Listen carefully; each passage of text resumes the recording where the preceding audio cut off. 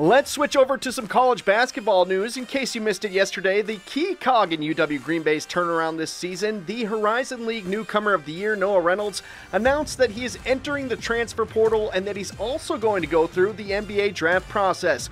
Reynolds did leave the door open for a return to the Phoenix, and if he does not come back to the program, his 20 points, 3 rebounds, and 4 assists per game will be sorely missed.